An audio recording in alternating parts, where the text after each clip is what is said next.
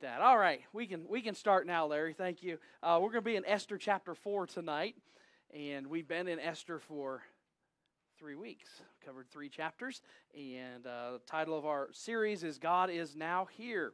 And we've tried to mention every week the fact that uh, God's name does not appear in the pages of Esther, all these chapters, but you can see Him at work you can see his providence, you can see his blessing, you can see him working behind the scenes, and we'll continue to see that tonight. Uh, we again, as, as we go through this book, and again, I haven't had scripture up there on Wednesdays just because of how we're kind of covering it. So hopefully, you have your Bible with you uh, to look upon. But uh, we're going to cover the topic tonight of perilous times. We saw last week in chapter 3, Haman kind of has now risen to the scene. Haman has decided, I don't like Mordecai. Um, so what I'm going to do is get rid of Mordecai. And so he has now got the king's approval to issue a decree that all the Jews that are captive in the land shall be killed. And so that's what we're facing as we go into chapter 4. Esther, of course, is the new queen. Esther is a Jew. So she's on the hit list, okay? She's, she's going to be killed with the people as well. So every Jew right now in chapter 4 is facing perilous times.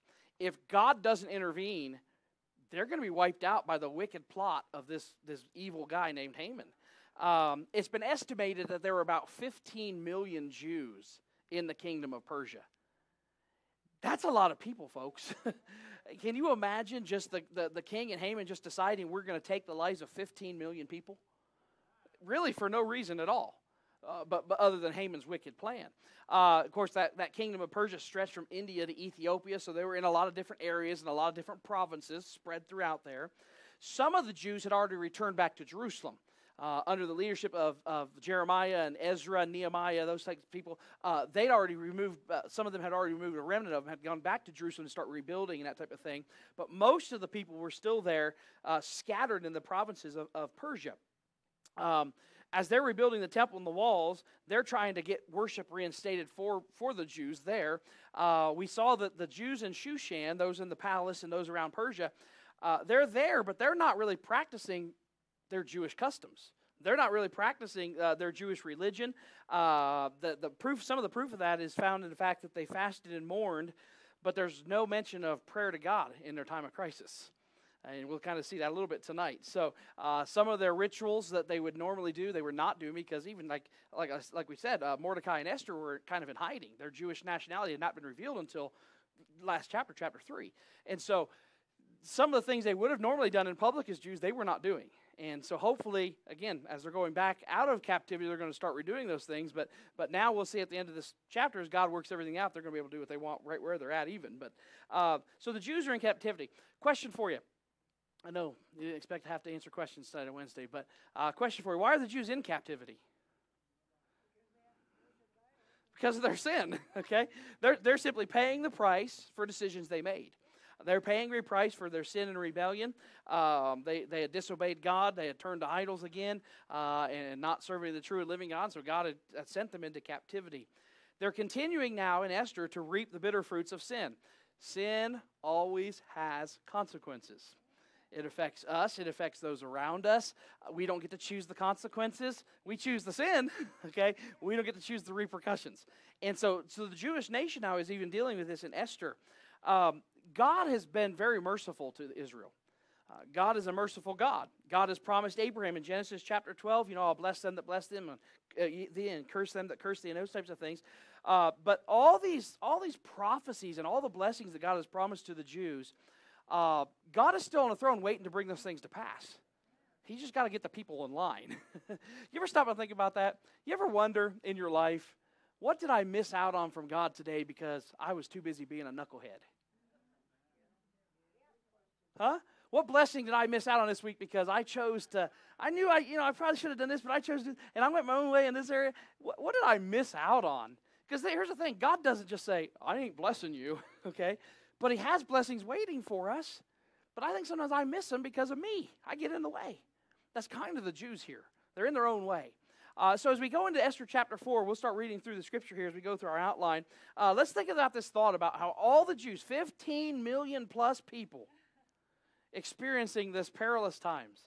Uh, death is at the is at the end. It's been chosen for them. They've got a date set up. On this date, you're going to be annihilated. Can you imagine living your life that way? Getting up the next day thinking, okay, only only 212 days left. Think about it. This is a, this is a scary time for the nation of Israel. Uh, so let's look at this thought as we go through uh, Esther chapter 4. And the first thing we want to see tonight is the display of grief.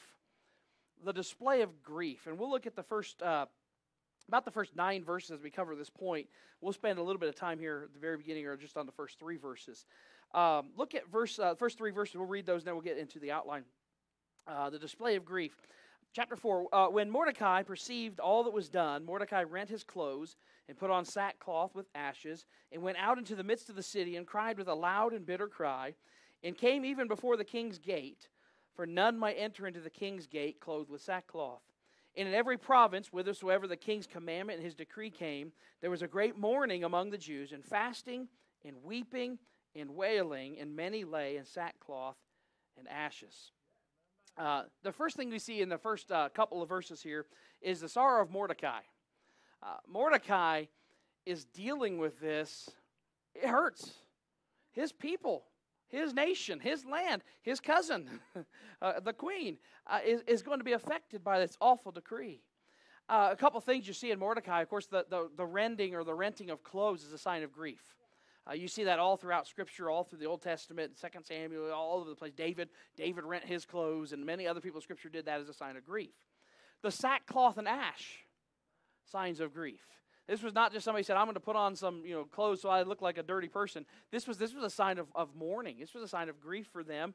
Job uh, put on sackcloth and ash. If you remember, if you read the book of Job and that type of thing, I think the big difference is between Job and Mordecai is this: Job put on sackcloth and ash and repented. Mordecai puts on sackcloth and ash. He's just mourning. Okay, so there's a little bit of difference there. He's, he's got grief and he's got mourning. He's got feelings for the people, but you don't see repentance at this particular time from any of the Jews. Okay, and again, they're where they are because of sin. They're where they are, and repentance is necessary. They need to get right with God, but they're they're mourning, but not quite reached the stage of repentance yet. Um, I put down this thought, letter number three there. I want us to see the importance of the promotion of Mordecai. If you remember back in chapter 2, uh, he had a, he had a, uh, a little position. And he uncovered that plot. Remember the, the two guys that were going to kill the king? He discovered the plot, reported it to the king. His name went down in the history books as the guy that foiled the plot, right? And he got a promotion. And now you see him sitting in the king's gate. Uh, this is very important because sitting in the king's gate also gave him access to the decrees that are written by the king. And so we're going to see here uh, later that, that because of the promotion, he's able to actually go back to those books and remind the king later, hey, I'm the guy, remember? I'm the guy that saved your life. Remember that? So it all comes into in full circle later on. So it's very important you see the promotion there that took place.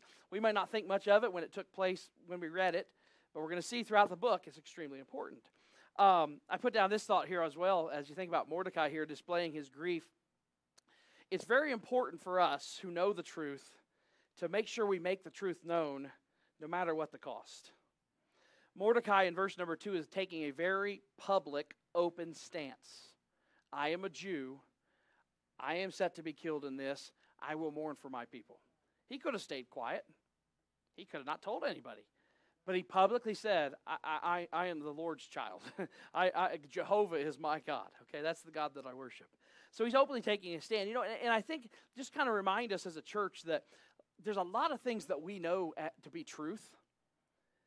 And in the world in which we live, to stand for that truth is very difficult sometimes. But we have to. We have to take a stand for right.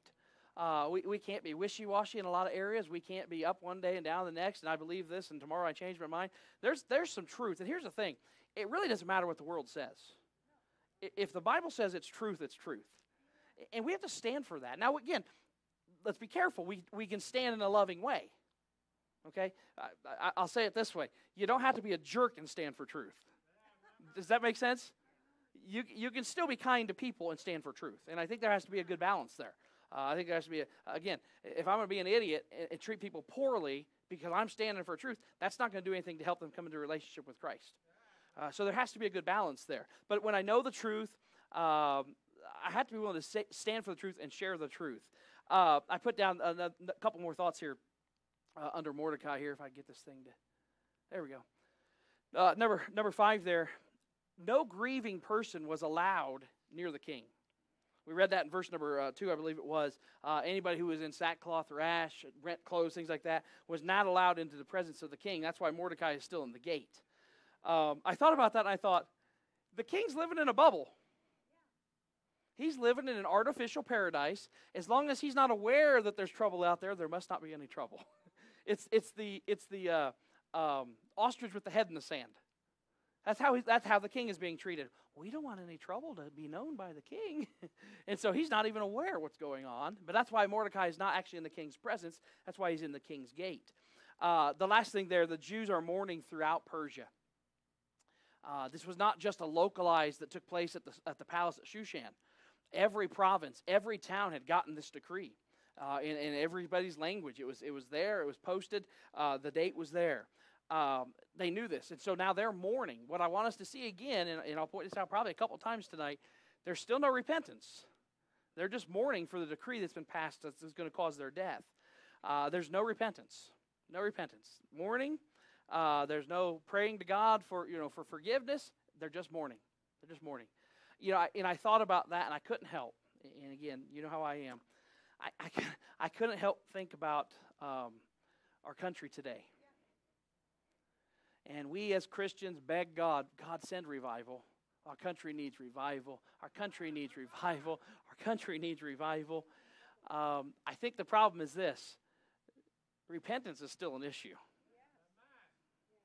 And until God's people get thoroughly right with God, we really don't have much of a, of a right to ask God to heal our land.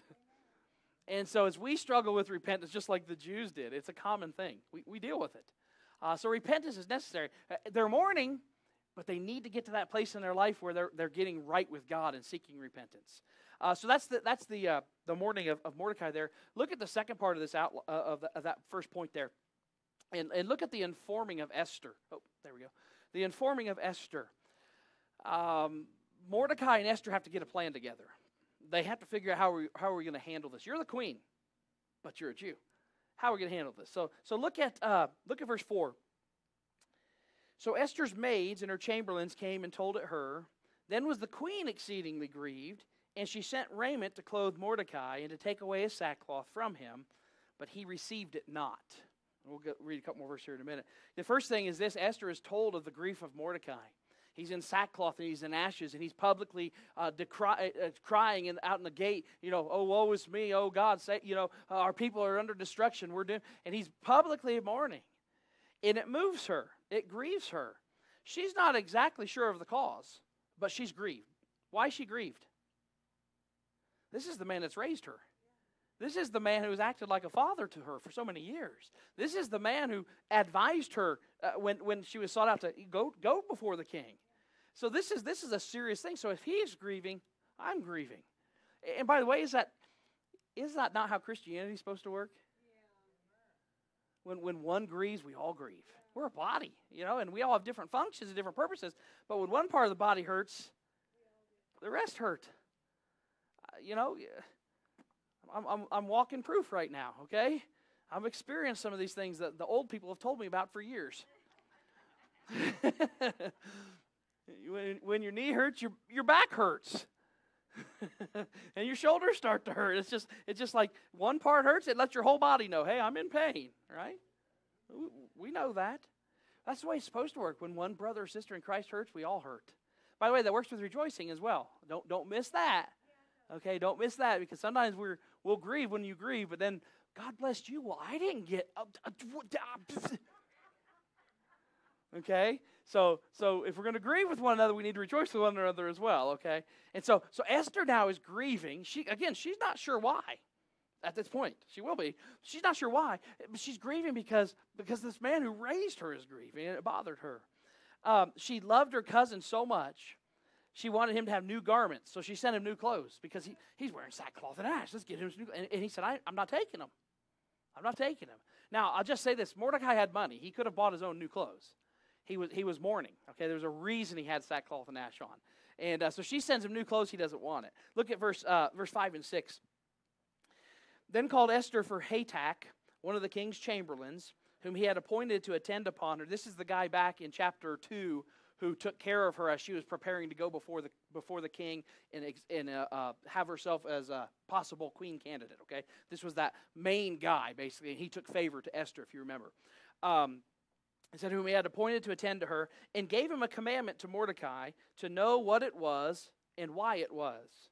So Hatach went forth to Mordecai under the street of the city, which was before the king's gate. Uh, so, number three, we have Hatach, who again had attended the queen before. Esther sends him to investigate. What's the problem with Mordecai? He's, he's mourning, which makes me sad. I send him clothes, he won't take it. What is going on? Go find out. So this man, again, he, she had found favor with him because of the Lord. We saw that. Uh, they had a good relationship. She says, would you go check it out? He goes and checks it out in verse 5 and 6. Uh, we don't know a lot about Hatach. Uh, as you study some of the history and that type of thing, you can find out many people think he was possibly a Jew himself. Uh, there's no there's no hundred percent on that, but many people think that he was a Jew. Uh, so maybe that's why that favoritism was found uh, when he first met Esther. Uh, looking for seven. And Mordecai told him of all that had happened unto him, and of the sum of the money that Haman had promised to pay the king's treasuries for the Jews to destroy them. Letter D, or number four there, Mordecai unfolds the whole plot to the king's chamberlain, Hatach. He says, uh, Listen, here's what happened. Haman came before the king. He had a wicked plot. He offered a bunch of money to kill all the Jews. And by the way, I'm a Jew. I'm a Jew. That's why this bothers me so much.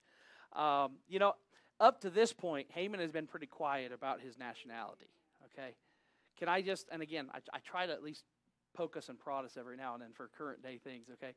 Can I just say this? We should never be ashamed of our identity in Christ. That's who we are, folks. I know so many people today are looking to find themselves in the world. Who am I? What am, I'm a child of the King. okay? That's where we get our identity is in Christ. Nothing else matters. And, and, so don't ever don't ever hold back on that. Don't ever be ashamed to share that with somebody. Don't ever be ashamed to testify of a relationship with Christ. Uh, it's a shame when Christians keep their relationship with God a secret. It's a shame. It, it truly is. You know, God God says, "I'll give you power to be witnesses unto me." We we don't take the power and be a witness. Amen. Uh, never be ashamed of Christ or the gospel of Christ. Look at verse eight and nine. And We'll finish out this point. Uh, also, he gave him the copy of the writing of the decree that was given at Shushan to destroy them, to show it unto Esther, and to declare it unto her, and to charge her that she should go in unto the king, to make supplication unto him, and to make request before him for her people. And Hatach came and told Esther the words of Mordecai. Number five there, uh, Haman, or uh, not Haman, Mordecai, he sends a copy of the decree with a request to Esther. That request was very simple you're going to have to reveal yourself as a Jew, and you're going to have to go before the king. The only hope we have here, Esther, is if you take a stand. If you unite with your people who are in mourning and you go before the king and ask for something to be done for your people. So now Esther's going to get put on the hot seat.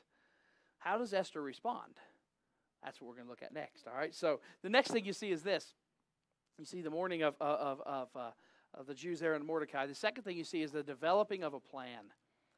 Uh, Mordecai and Esther now have to get on the same page. And in the next few verses, uh, verse 10 through 14, we'll kind of see uh, what takes place here in uh, this plan that's being devised. Look at verse number 10. Again, Esther spake unto Hatach and gave him commandment unto Mordecai. All the king's servants and the people of the king's provinces do know that Whosoever, whether man or woman, shall come unto the king into the inner court who is not called, there is one law of his to put him to death, except such to whom the king should hold out the golden scepter, that he may live. But I have not been called to come in unto the king these thirty days. Uh, and they told the word, or I'm sorry, and they told to Mordecai Esther's words. That Mordecai commanded Esther, uh, it, said, Think not with thyself that thou shalt escape in the king's house more than all the Jews. For if thou altogether holdest thy peace at this time, then shall their enlargement and deliverance arise to the Jews from another place, but thou and thy father's house shall be destroyed. And who knoweth whether thou art come to the kingdom for such a time as this? Uh, Esther, of course, we see that the, the rebuttal she kind of sends back to Mordecai, and Mordecai answers with great poise and wisdom. You know, I'm often jealous and envious of people who respond to negative situations with poise and wisdom. Because I'm just like, dude, grow up.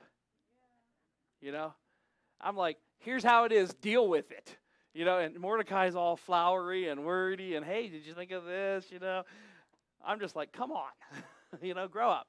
But uh, so I, I, have great respect for people that do this. I try. I don't often succeed, uh, but I, I, do try. But uh, look, at, look at a couple things here as we're developing the plan. First of all, the queen was challenged to act.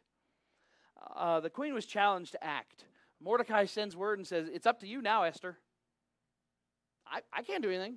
The, the people are set to die. You're the only one in a place of power that can do something.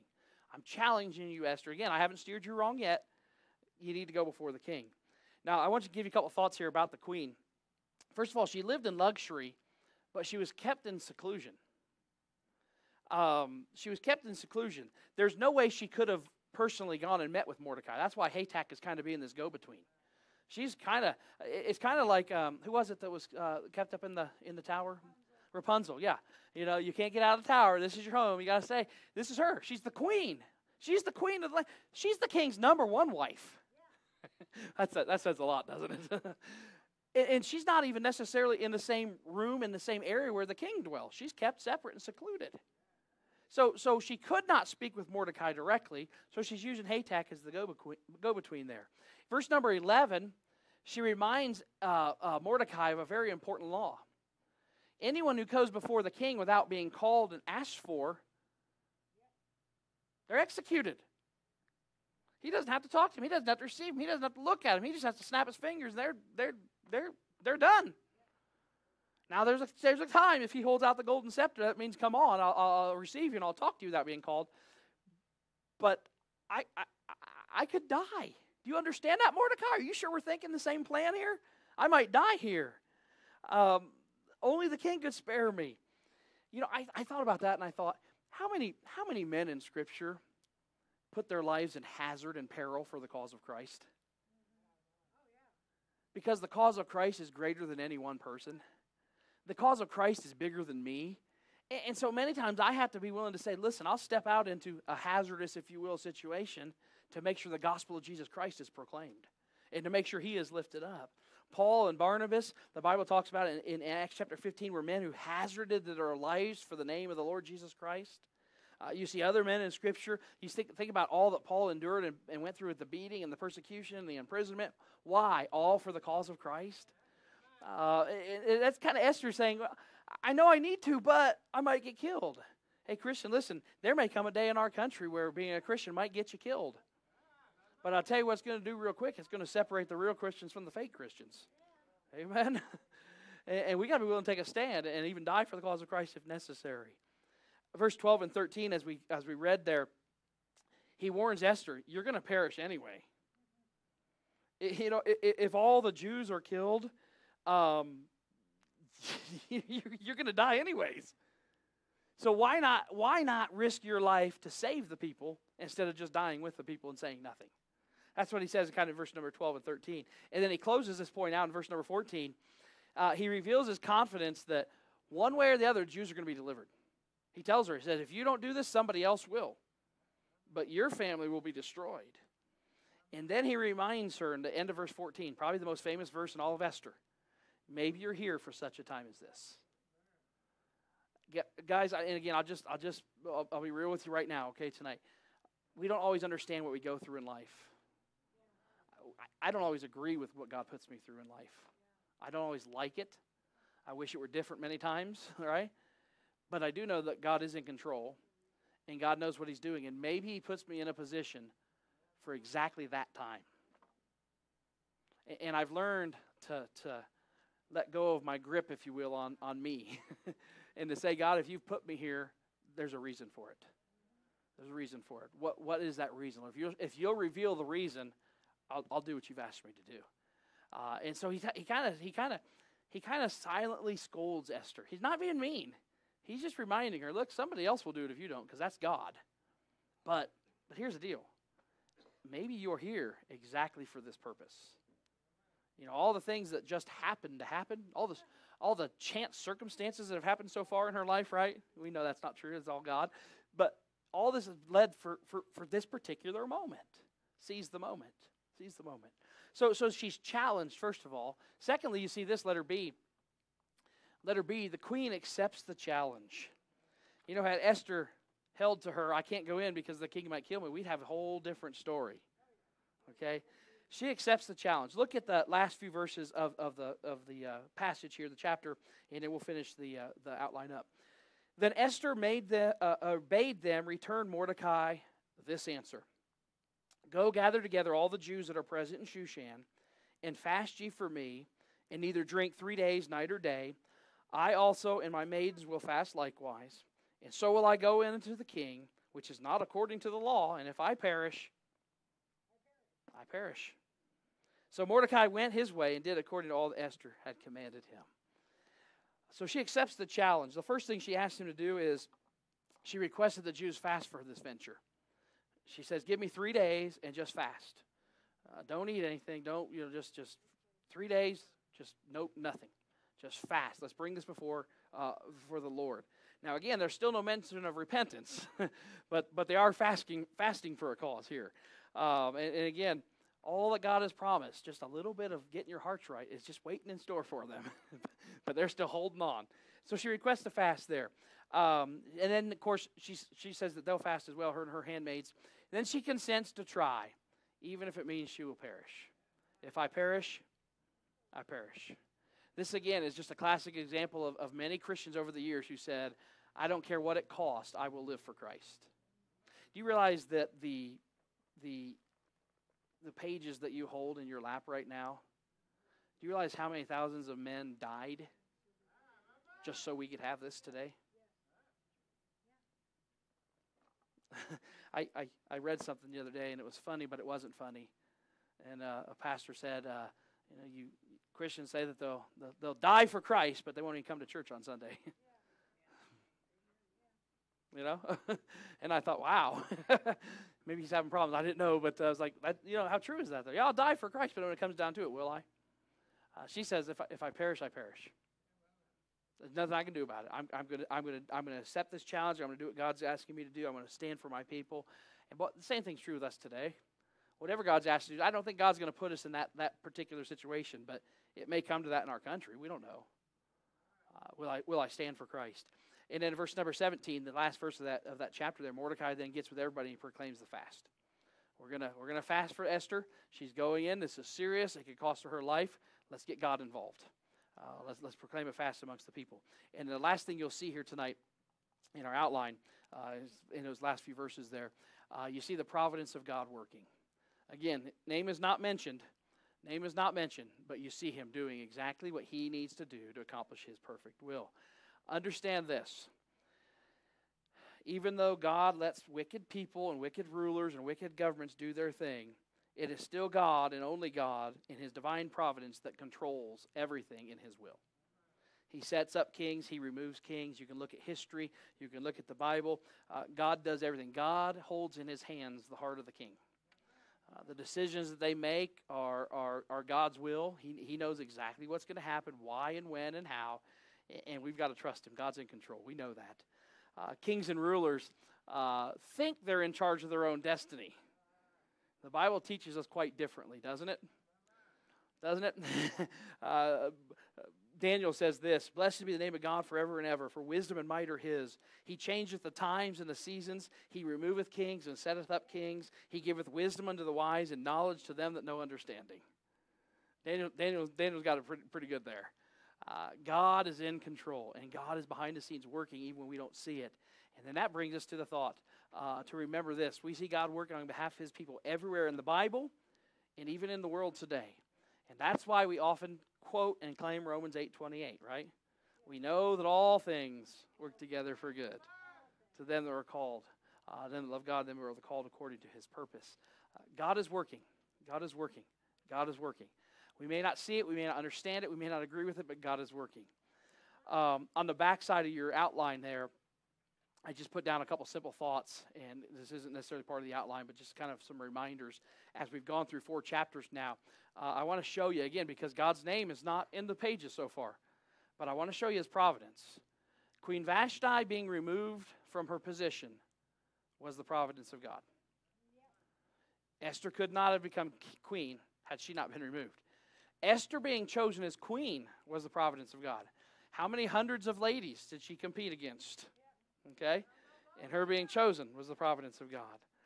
Uh, Mordecai holding a government position was the providence of God. Again, this is a Jew in foreign land, but he had a small role, and of course, then got promoted as well.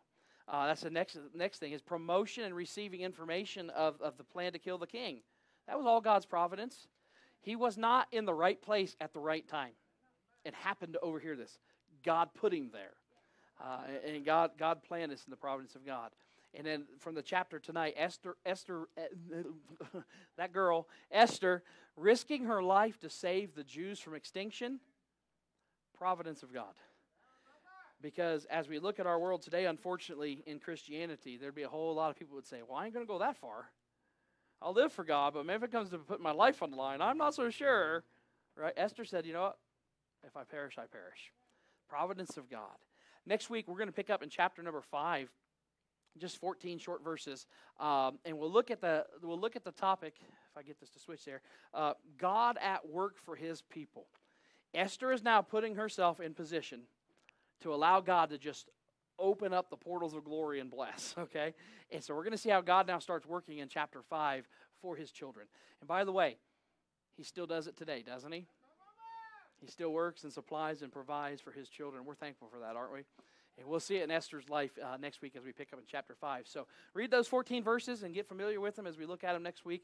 Uh, we'll uh, just keep on moving through the book of Esther till we, till we finish it up, all right? And so that's where we'll be next week. We get all our blanks filled in?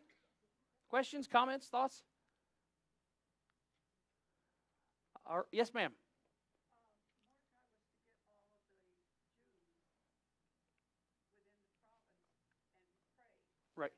Mm-hmm. Uh, in the scripture that we read, it was really just the ones there in, the, in that area of the palace, the Shushan area. Yeah, it wasn't, it wasn't a decree that was spread everywhere because that would have taken time. And so for the three day for the three day fast they did, yeah, it was just those that were right there, which which still would have been quite a quite a hefty bit bit of people. So yeah, there's just those localized ones. Yep, yep. All right.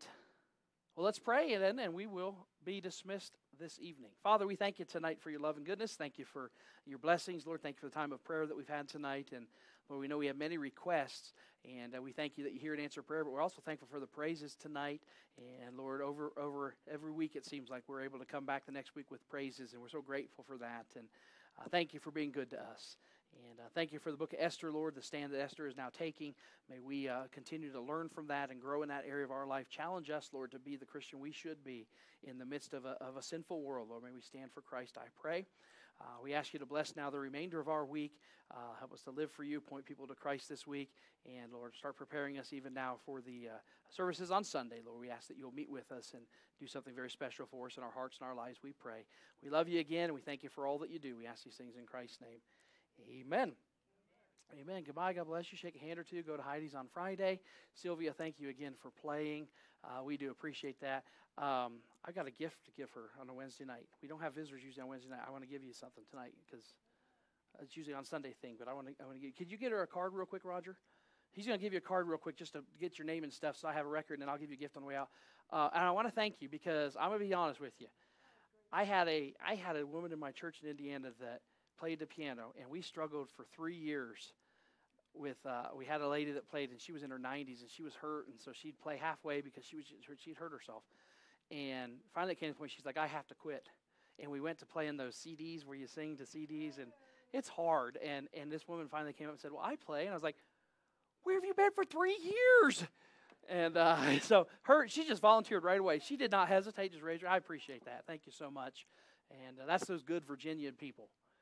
Amen. Amen. But thank you again. We appreciate that. So, but uh, shake a hand or two, and then, like I say, Friday night, six o'clock out at Heidi's. Yes, ma'am.